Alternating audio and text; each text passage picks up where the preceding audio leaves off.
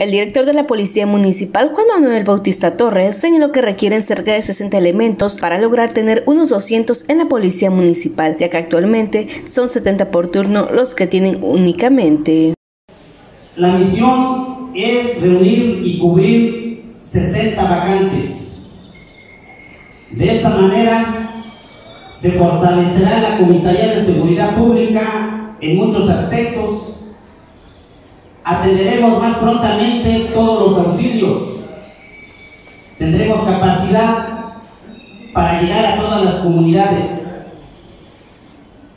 Actualmente lo hacemos, pero no en la misma forma que lo haríamos una vez cubiertas todas las plazas.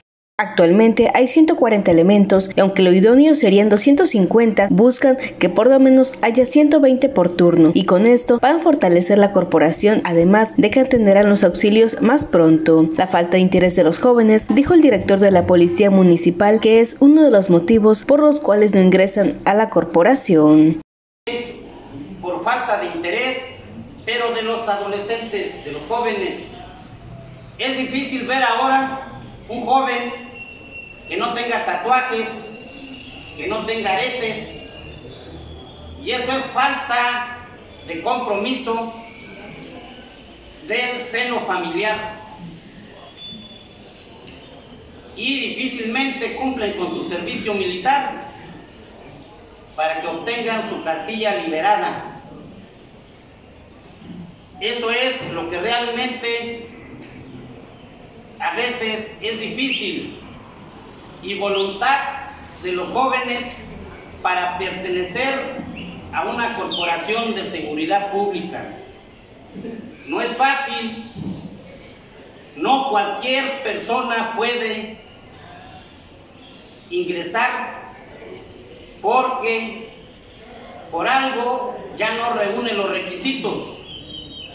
Ya estoy tatuado, ya consumo sustancias psicotrópicas, no tengo mi cartilla liberada y prefiere cualquier otro trabajo.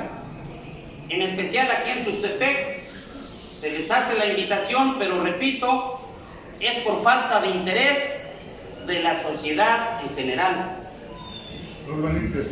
Los interesados deben de cumplir requisitos como son la escolaridad, la edad y además de otros que dio a conocer el director de reunir ciertos requisitos, como es la documentación oficial, que siempre se solicita, y aquí agregamos algo extra. El elemento no debe de consumir sustancias psicotrópicas, no debe de tener en el cuerpo tatuajes, orificios de aretes, nada más las mujeres, exclusivo para aretes. El varón debe de contar con su cartilla militar liberada. No deben de tener antecedentes penales. Mencionó que cuando pasen a ser elementos de la policía municipal tendrán un sueldo promedio de 14 mil pesos mensuales, además de gozar de otras garantías. Con edición de Jafet Carrillo, informó Dora Timoteo.